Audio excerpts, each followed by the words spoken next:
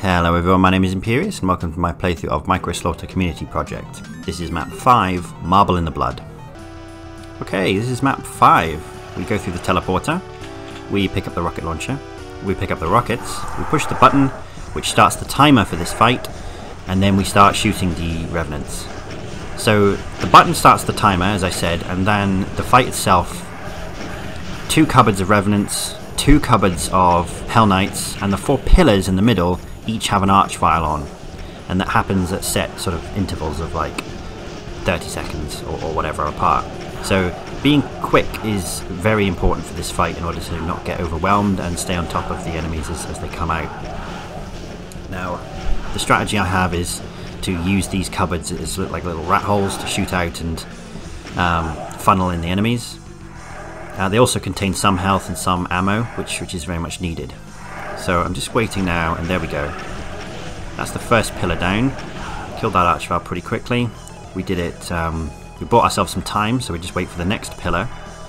And then, almost immediately as soon as this guy is dead, the wall will open here, and there we go, there's the Revenants. So you want to try and start shooting them immediately, so that you can maximize splash damage while they're coming out.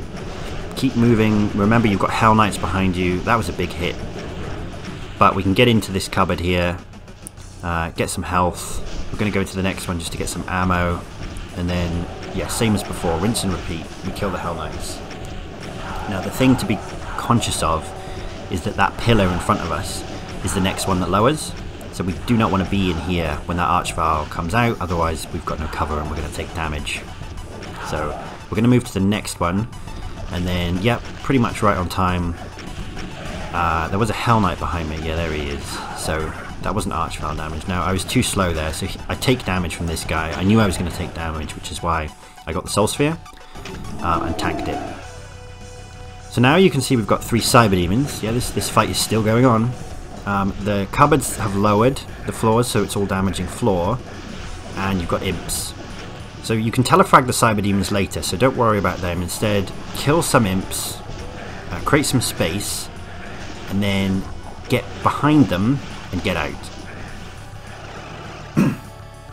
because you do get to come back later, the cyber demons will be restricted, and you can just kill any imps that remain with impunity. So this next fight is a lot easier. Um, just some imps and some barons is the first wave. But that first fight is definitely the hardest one, and it, the key really is about knowing what's going to open up next positioning yourself so that you can you know, take advantage of, of knowing what's coming next and just being quick in killing the enemies, quick and efficient to stop getting overwhelmed. If you can get through that, the rest of the level is, is pretty easy. So the second wave here, as you can see for this fight, is the Revenants. Uh, again, not, not really too much trouble here. You've got a lot of space. You can just circle straight around them to win, really. And yeah, just keep an eye on those homing rockets. Now the floor, as you, as you might be able to see, sort of lowers and raises. Uh, I don't know if it's random, but when it's lowered, it's a damaging floor, and when it's raised, it's, it's not, which adds a bit of uh, unpredictability to the fight. That teleporter just brings you to the other side of the arena, and there's one behind me which takes you back. I basically just use that as a, a way of cancelling out all those homing rockets. But we did that quite quickly, and now we're just going to wait for this wall to come down, and for the third and final wave of this fight to begin.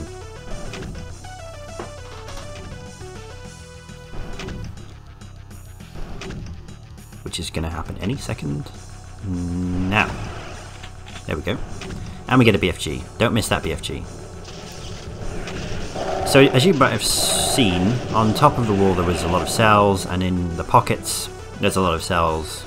You basically have a lot of cells, so feel free to just go nuts and then kill all the pinky demons with the BFG. Which is quite satisfying after after the, um, the practice and the deaths I had in, in the first fight.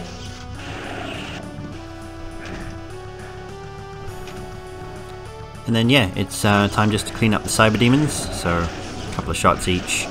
And then there's a button behind each one which lowers the teleporter in between them, which brings you back to the start. And pretty much to the end of the level. Uh, we will telefrag those three cyber demons we saw earlier in, in just a moment.